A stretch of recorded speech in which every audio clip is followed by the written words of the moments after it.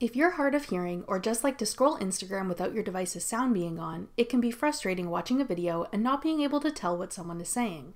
Luckily, there's a new feature that can help. I'm Jessica from techboomers.com and in this video, I'll show you how to enable automatic video captions on Instagram. Now let's get started. To enable automatic video captions on Instagram, open the Instagram app and go to your profile. Now tap the menu icon in the top right corner.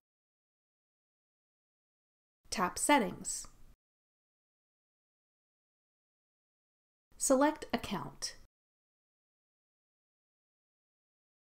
Now tap Captions. Then tap the switch to enable captions.